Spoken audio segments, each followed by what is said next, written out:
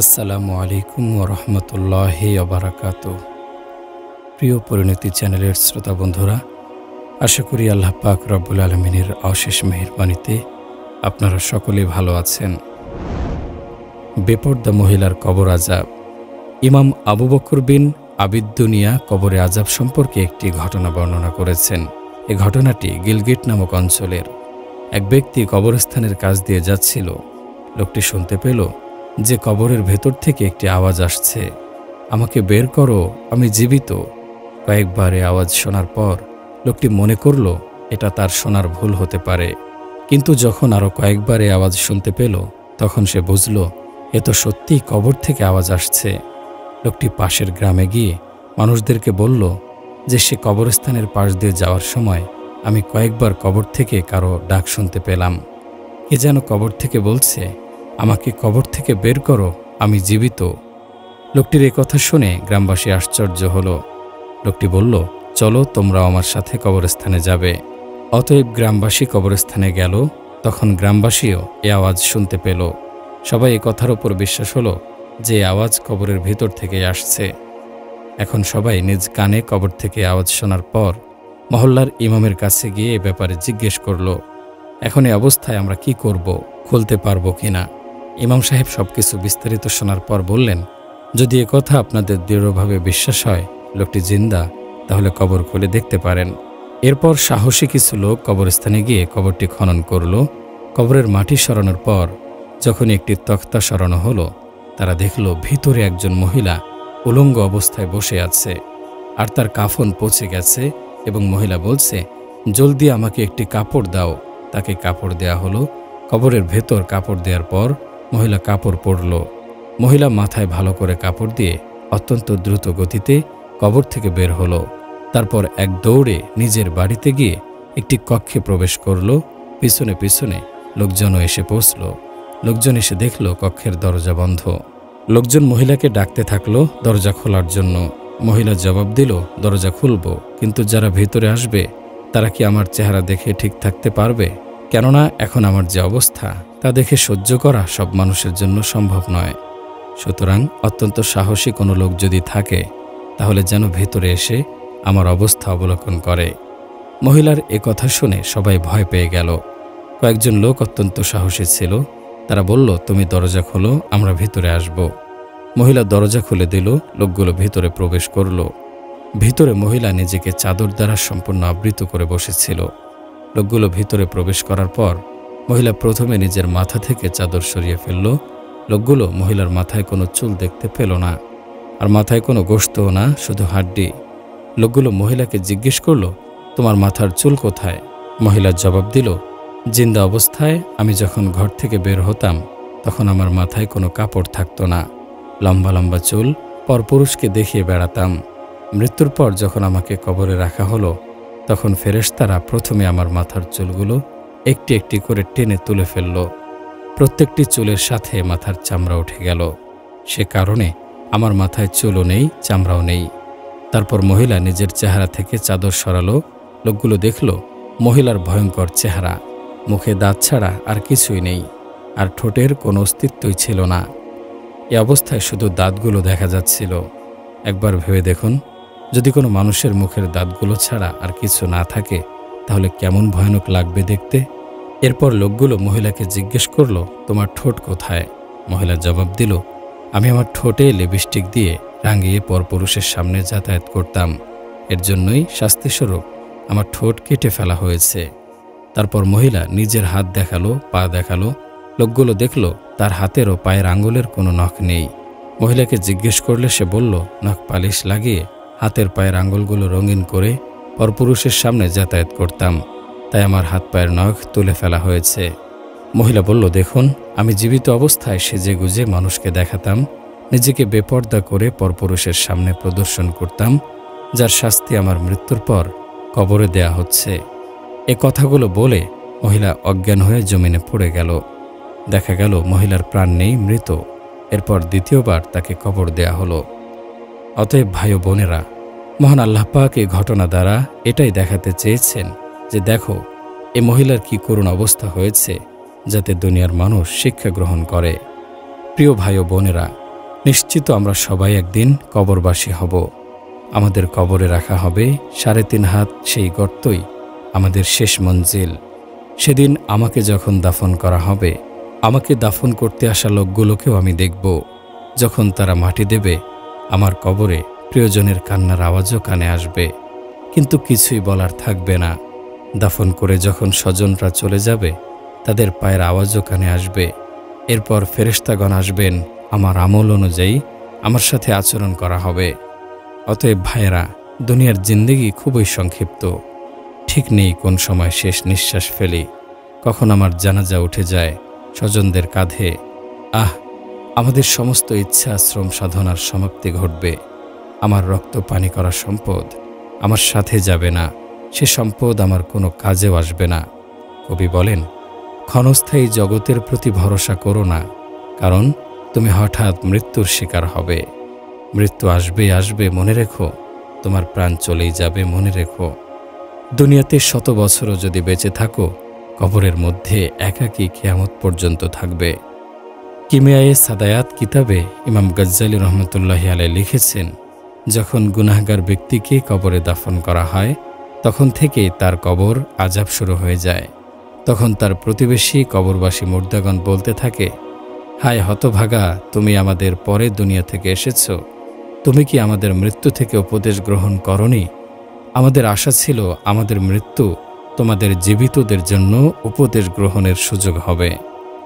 তাহলে তুমি এমনটি কেন করলে? খালি হাতে কবরে কেন এলে? মৃত্যু আমাদের আমল বন্ধ করে দিয়েছিল, কিন্তু তোমাদের আমল করার সুযোগ ছিল। আমরা যে নেকি করতে পারিনি, তুমি কেন তা ছেড়ে এলে?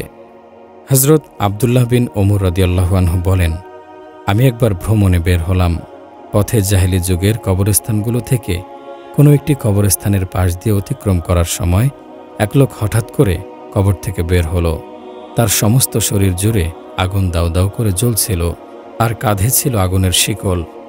আমার কাছে পানি ভর্তি একটি পাত্র ছিল, সে আমাকে দেখে ডাকতে লাগল, হে আবদুল্লাহ, আল্লাহর বান্দা, আমাকে পানি পান করাও।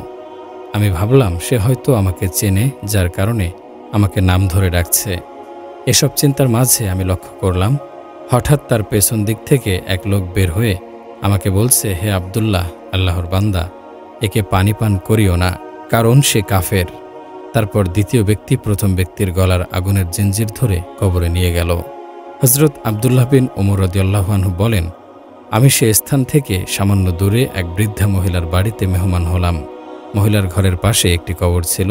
আমি সে কবর থেকে এ আওয়াজ শুনতে পেলাম, বাউলুন অমা বাউলুন, সান্নন অমা সান্নন। অর্থাৎ প্রস্রাব কতই না মারাত্মক ও ভয়াবহ ব্যাপার এবং বিপজ্জনক এবং পানির মস্ক কতই না মারাত্মক ও ভয়াবহ ব্যাপার। আমি বৃদ্ধা মহিলাকে জিজ্ঞেস করলাম, এ আওয়াজ কিসের? মহিলা বলল, এটা আমার স্বামীর আওয়াজ। সে জীবিত অবস্থায় যখন প্রস্রাব করত, তখন সে প্রস্রাব থেকে নিজেকে হেফাজত করত না। আমি তাকে সতর্ক করতাম, বলতাম ওটো প্রস্রাব করার সময় পায়ের নালাকে নিচু করে দেয়, আর তুমি তাও করো না। কিন্তু সে আমার কথা মানত না। আর যখন তার মৃত্যু হলো, তখন থেকেই কবরের ভেতর থেকে এমন আওয়াজ আসে। এরপর আমি সে ব্যক্তির পানির ব্যাপারে প্রশ্ন করলাম। মহিলা বলল, সে ব্যক্তির ঘটনা এ ছিল যে একবার এক লোক তার কাছে পানি চাইল। তখন সে বলল, আমার কাছে একটি মস্ক আছে, এতেই পানি আছে, যাও পান করো। পিপাসার্থ লোকটি দৌড়ে পানির মস্কের কাছে গেল, দেখল তাতে পানি নেই। তৎক্ষণাৎ লোকটি মৃত্যুবরণ করল, অথচ সে জানত পাত্রে পানি নেই। শুধু সে পিপাসার্থ লোকটিকে ধোকা দেওয়ার জন্য মিথ্যা বলল। প্রথম লোকটি প্রতিদিন কবর থেকে আওয়াজ দেয়, হায় পানির পাত্র। এরপর আমি সফর শেষ করে মদিনায় পৌঁছলাম। রাসুল সাল্লাহ আলহিউসাল্লামের কাছে সব ঘটনা খুলে বললাম। রাসুল সাল্লাহ আলহিউসাল্লাম বললেন, আর একা সফর করবে না। হজরত আব্দুল মালিক ইবনে নুমাইর রহমতুল্লাহ আলাই একটি ঘটনা বর্ণনা করেন, যে কুফার এক বাসিন্দার মৃত্যুর পর স্বজনরা তার লাশ কাফনের কাপড় দ্বারা ঢেকে দিল। হঠাৎ মৃত ব্যক্তি নড়ে উঠল এবং চেহারা থেকে কাপড় সরিয়ে বলতে লাগল, ওই সব লোকেরা আমাকে ধোকা দিয়ে ধ্বংস করেছে। এখন আমার ঠিকানা জাহান্নাম। আহ, আমাকে ধ্বংস করেছে আমার দুর্ভাগ্য। লোকেরা বলল, তুমি লা ইলাহা ইল্লাল্লাহ বলো। মৃত লোকটি বলল, আমি বলতে পারছি না। লোকেরা বলল, কেন? বলতে পারছ না। সে বলল আমি জীবিত অবস্থায় হজরত আবু বক্কর রদিয়াল্লাহুয়ানহু হজরত ওমর রদিয়াল্লাহুয়ানহুকে গালাগাল করতাম। সে কারণেই আমি কালেমা পড়তে পারছি না। যখন তোমার সাথীরা একা রেখে আসবে, সে কবরে পোকার খাদ্য হবে তুমি। কবরে তোমার কাফন ফেটে যাবে। মনে রেখো, এ কোমল শরীরও ফেটে যাবে। তোমার একটি একটি চুল পর্যন্ত পড়ে যাবে। সুন্দর শরীর সব বিগড়ে যাবে। সব বিচ্ছু কবরে পূর্ণ থাকবে। কি হবে তখন আমল ছাড়া সেখানে? আল্লাহপাক বলেন, আমার প্রিয় বান্দাগণ, তোমরা কেন আমাকে রাগান্বিত করো? আল্লাহকে রাজি করা নিজের জীবনের আসল উদ্দেশ্য হওয়া উচিত। যদি আল্লাহপাক জাল্লা জালালুহ রাজি হয়ে যান, তাহলে সব পাওয়া হলো। আল্লাপাক যদি নারাজ হন, তাহলে মৃত্যুর পর বড় কঠিন অবস্থার সম্মুখীন হওয়া ছাড়া উপায় থাকবে না। সে কঠিন থেকে কঠিন আজাব মানুষ সহ্য করার ক্ষমতা রাখে না। আল্লাহ পাক বলেন, ইয়া ইবনু আদম আল্লাহ তাতা হাম্মালু বিসাখতি ওয়ালা কু আজাবি ফাতা আসিনি হে আমার বান্দাগণ, আমার নাফরমানি করার পূর্বে ভেবে নাও, তোমার মধ্যে শক্তি আছে কি না আমার আগুনের তাপ সহ্য করার। তোমাদের এ শক্তি নেই যে আমার রাগকে সহ্য করবে। গান শোনার আগে ভেবে দেখো, এ কানে যখন জাহান্নামের আগুনের গলিত সীসা ঢালা হবে, তা সহ্য করতে পারবে কিনা? অন্য নারীর দিকে নজর দেওয়ার পূর্বে ভেবে দেখো, আগুনের পেরেক চোখে যখন প্রবেশ করানো হবে, তখন সহ্য করতে পারবে কিনা। সুদ খাওয়ার পূর্বে ভাবো যে পেটের ভেতর সাববিচ্ছু ভরে দেয়া হবে, আর এই সাববিচ্ছু সুদখোরের পেটের ভেতর কাটতে থাকবে।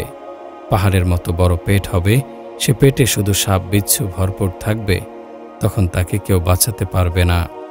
অতএব ভাই বোনেরা আমার, সে সময়টা এমন হবে যে কেউ কাউকে সাহায্য করতে পারবে না, সে সময় যে জিনিস সাহায্য করতে পারবে, তা হলো বান্দার নেক আমলগুলো।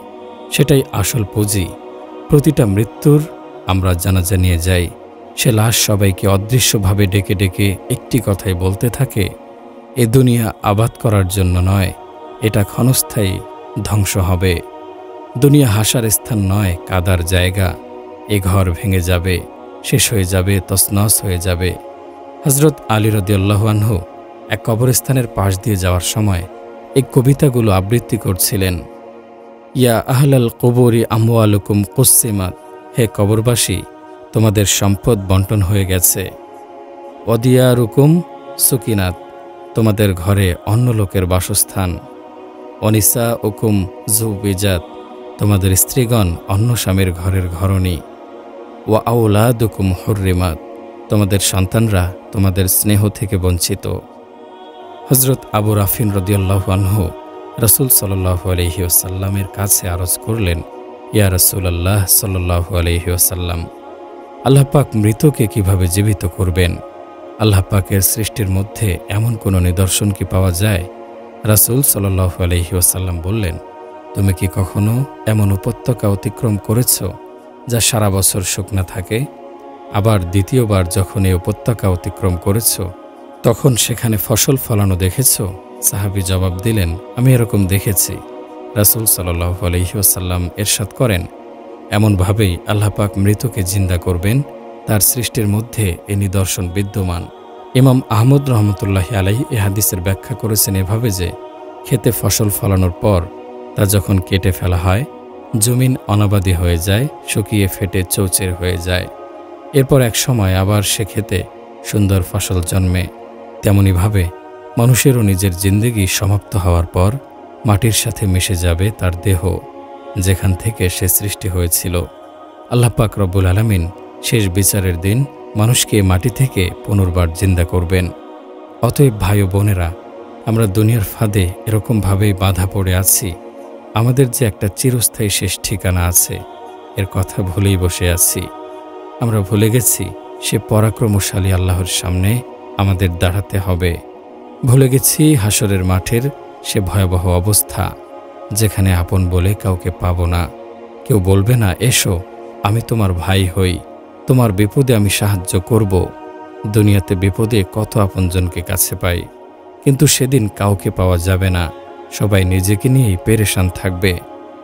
কোরআন পাকে এরশাদ হচ্ছে ইয়াউমাইয়া ফিরুল মার উমিন আখি ও উম্মিহি ও আবি ও সহিবাতিহি ওয়াবানি লিকুল্লিম রি ইমিন হুম ইয়ৌমা ইজিং শাহনু সেদিন মানুষ তার ভাই, মা বাবা, স্ত্রী ও সন্তানদের থেকে পালিয়ে বেড়াবে। সেদিন তাদের প্রত্যেকেরই এমন গুরুতর অবস্থা হবে যা তাকে সম্পূর্ণরূপে ব্যস্ত করে রাখবে। সকলে নিজেদের ভাবনায় ব্যাকুল থাকবে। কেউ কারও কাছে যাবে না। সবার একই আর্তনাদ হবে, নফসি নফসি। হে আল্লাহ, আমাকে বাঁচাও। হে আল্লাহ, আমাকে রক্ষা করো, আমাকে বাঁচাও। চারদিকে পাহারারত ফেরেস্তাগণ দাঁড়িয়ে থাকবে, জাহান্নাম চিৎকার করতে থাকবে, সে আওয়াজে হৃদয় সদা কম্পিত থাকবে। জাহান্নামের আগুনের স্ফুলিঙ্গ প্রতিটা মানুষকে ভীত সন্ত্রস্ত করে রাখবে। এরপর আল্লাহ তালা বলবেন, আইনামা আতইতুকা, আইনামা আমতু আলাইকা। তোমাকে যা দান করেছিলাম তা কোথায়? যা তোমাকে পড়িয়েছিলাম তা কোথায়? সে সম্পদ, রিজিক ও আকল তোমাকে দান করেছিলাম তা কোথায়? তখন প্রতিটা মানুষ ভয়ে থরথর করে কাঁপতে থাকবে। সেদিনের পরিস্থিতি হবে খুবই ভয়াবহ। ডান দিকে তাকালে নিজের আমল নজরে আসবে বাম দিকে নজরে পড়বে নিজের আমল, আর সামনের দিকে তাকালে ভেসে আসবে জাহান্নামের চিৎকার। কাল্লা ইজা দুক্কাতিল আর্দু দাক্কাং দাক্কা ওজা রব্বু কাওয়াল মালাকু সফাং সফা ওজি আয়মা ইজিম বিজাহান্নাম ইয়ৌমা ইজি ইয়াতাজাক্কারুল ইনসান ওয়া আন্না লাহু যিকরা ইয়াকুলু ইয়া লাইতানি কদ্দামতু হায়াতি এটা অনুচিত। পৃথিবী যখন চূর্ণ বিচূর্ণ হবে এবং যখন আপনার পালনকর্তা ও ফেরেশতাগণ সারিবদ্ধভাবে উপস্থিত হবেন এবং সেদিন জাহান্নামকে যখন আনা হবে, সেদিন মানুষ স্মরণ করবে, কিন্তু এ স্মরণ তার কী কাজে আসবে? সে বলবে, হায় এই জীবনের জন্য আমি যদি আগেই কিছু প্রেরণ করতাম, ফয়াউমা ইজিল্লা ইউআজিবু আজাবাহু আহাদ ওয়ালা ইউসিকু ওয়াসাকহু আহাদ আইয়াতুহান নাফসুল মুতুমা ইন্না ইরজিই ইলা রব্বিকি রাদিয়াতাম মারুদিয়া ফদখলি ফি ইবাদি ওদখলি জান্নাতি। সেদিন তার শাস্তির মতো শাস্তি কেউ দেবে না এবং তার বন্ধনের মতো বন্ধন কেউ দেবে না। হে প্রশান্ত মন, তুমি তোমার পালনকর্তার কাছে ফিরে যাও। সন্তুষ্ট ও সন্তোষভাজন হয়ে এরপর আমার বান্দাদের অন্তর্ভুক্ত হয়ে যাও এবং আমার জান্নাতে প্রবেশ করো। ভাই ও বোনেরা আমার, এই পৃথিবীতে আমার চোখের দুফোটা অশ্রু আল্লাহ পাকের ক্রোধকে শীতল করে দিতে পারে, দুফোটা অশ্রু নিভিয়ে দিতে পারে জাহান্নামের আগুন। হজরত রাসুল সাল্লাহ আলহি ওয়াসাল্লাম ইরশাদ করেছেন, আমি আমার এক উম্মতকে দেখলাম, সে জাহান্নামে পতিত হচ্ছে, আর অমনি দুনিয়ার এক ফোঁটা অশ্রু এসে তাকে ধাক্কা দিয়ে জাহান্নাম থেকে বের করে একদিকে দাঁড় করিয়ে দিল। এ হলো আল্লাহর ভয়ে দুনিয়াতে নির্গত অশ্রুর মূল্য।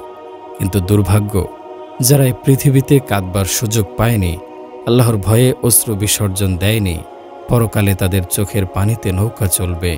কিন্তু কোনো কাজে আসবে না সে অশ্রু সেদিন মানুষ বলবে, আইনাল মাফাররু পালাবো কোথায়? কাল্লা লা ওয়াজারা। না, কোথাও আশ্রয়স্থল নেই। ইয়াউমা ইজিং তুরদু নালা তাহফা মিঙ্কুম খফিয়া।